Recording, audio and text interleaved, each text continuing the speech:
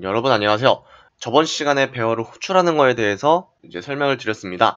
이번 영상은 이제 배열에다가 데이터들을 하나씩 추가를 하는 방법에 대해서 설명을 드리도록 하겠습니다. 이번 영상에서 사용했었던 거는 이제 프로그램 내에서 배열의 값을 추가를 하고 그 다음 호출하는 방법이었습니다.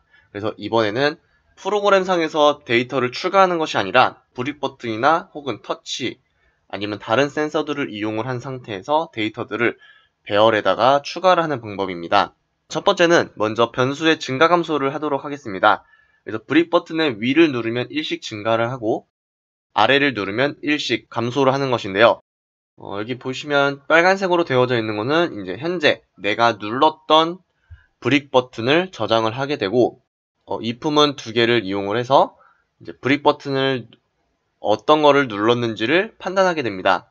그리고 마지막에 while문을 통해서 현재 누르고 있는 것과 그 전에 눌렀었던 값이 일치하게 되면은 기다리게 되는 것입니다. 우선은 이 프로그램을 일단 작성을 해보도록 하겠습니다.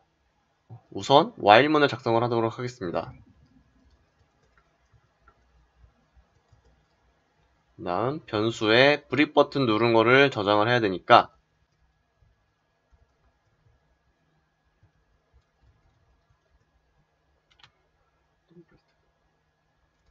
이렇게 저장을 하고 그 다음 이 부분으로 현재 어떤 브릭 버튼을 눌렀는지 판단을 하겠습니다.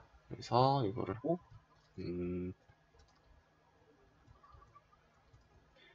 위에 버튼을 누르면은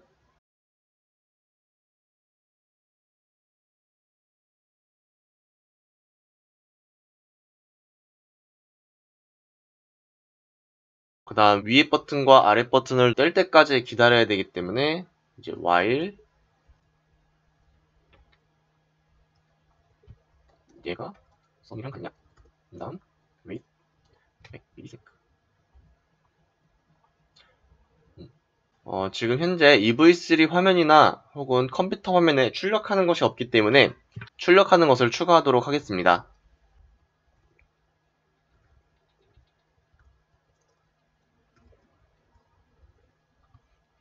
자, 이렇게 작성을 한 다음에 이제 정상적으로 출력을 하는지 한번 보도록 하겠습니다.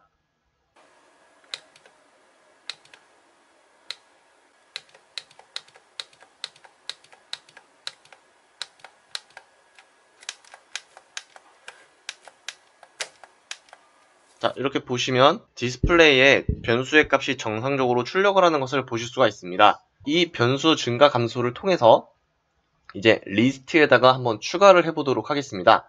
이제 추가를 하실 때는 append라고 되어져 있는 이 함수를 사용을 할 것입니다. 이 함수를 사용하게 되면은 배열의 제일 마지막 인덱스에 바로 다음으로 값을 추가를 하게 됩니다. 예를 들면 A라고 되어져 있는 배열에 10, 20, 30을 저장을 했습니다. 여기서 append 100이라고 작성을 하게 되면 여기 10, 20, 30 바로 다음, 그러니까 30 다음으로 100이라고 하는 값이 추가가 되는 것입니다. 이거를 이용을 해서 디스플레이에 정상적으로 출력을 하는지 한번 보도록 하겠습니다. 음, 우선은 이런 식으로 배열을 만들어 주시고 다음 어, 여기에 엘if를 하나 더 하셔서 이제 가운데 버튼을 눌렀을 때 어, 배열에다가 저장을 하도록 하겠습니다. 그래서 여기다가 센터 그 다음 이제 a라고 하는 배열에 넣어야 되기 때문에 a. append 가로 안에 num 음. 그리고 아까 변수의 값이 계속 누를 때랑 뗄 때 값이 두 번씩 나왔습니다. 어, 그래서 한 번, 한 번만 나올 수 있도록 여기다가 elif 어, 변수의 값을 누르지 않았을 때를 추가를 하도록 하겠습니다.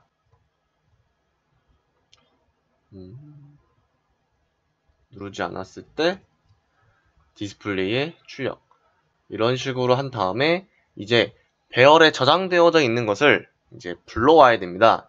어, 현재 여기로 하게 되면은 계속 반복을 하기 때문에 이제 여기 설정되어져 있는 뭐 위, 아래, 가운데랑 아무것도 누르지 않음이 아니라 아예 완전히 다른 것을 눌렀을 때 이 반복문을 빠져나가도록 하겠습니다.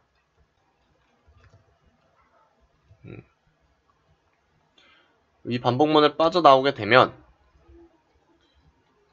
여기서는 이제 for문을 통해서 이 A라고 하는 배열을 이제 EV3 디스플레이에 출력을 하도록 하겠습니다. 이거는 이제 하나씩 출력을 하는 것이기 때문에 여기다가 0.5초에 한 번씩 하도록 하겠습니다. 자, 이렇게 하고 배열을 하나씩 출력을 하는지 한번 보도록 하겠습니다.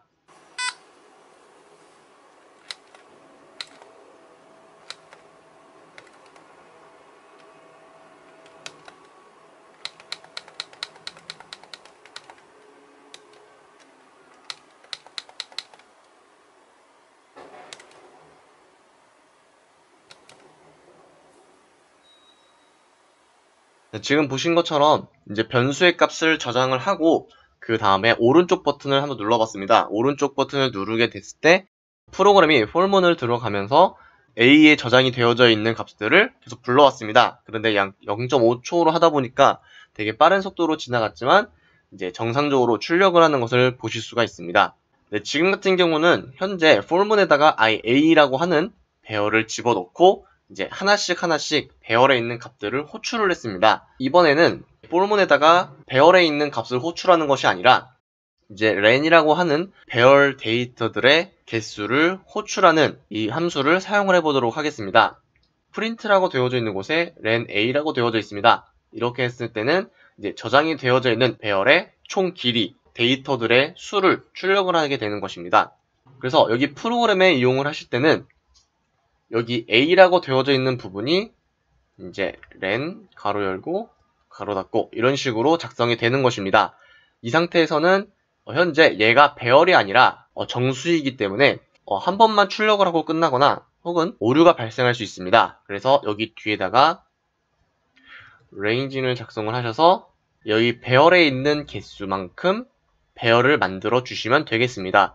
여기 출력되는 값은 0에서부터 배열에 저장되어져 있는 수까지입니다. 그래서 여기 A라고 하는 배열을 불러오신 다음에 대괄호 여기 대괄호 안에 i라고 작성을 해주시면 되겠습니다. 우선 얘가 0.5초가 너무 빠르기 때문에 1초로 작성을 하고 한 번 더 프로그램이 정상적으로 출력을 하는지 한번 보도록 하겠습니다.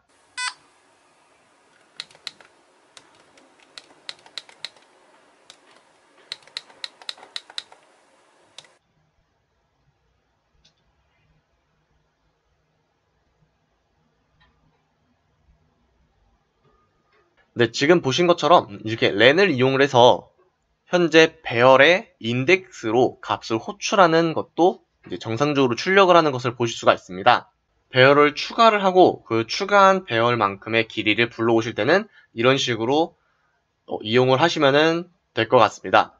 자, 오늘 준비한 영상은 여기까지입니다. 앞서 설명드렸던 부분에서 이해가 잘 안 되시거나 혹은 궁금하신 점이 있으시다면 댓글을 남겨주시거나 이메일을 주시면 제가 답변을 드리도록 하겠습니다.